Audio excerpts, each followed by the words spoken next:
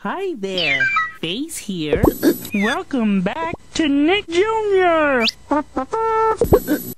I've got The hiccups. I don't know How I got these Hiccups. but I do know that I got them. Yes. I've got The hiccups. coming up next. It's Gullah Gullah Island by Nick Jr.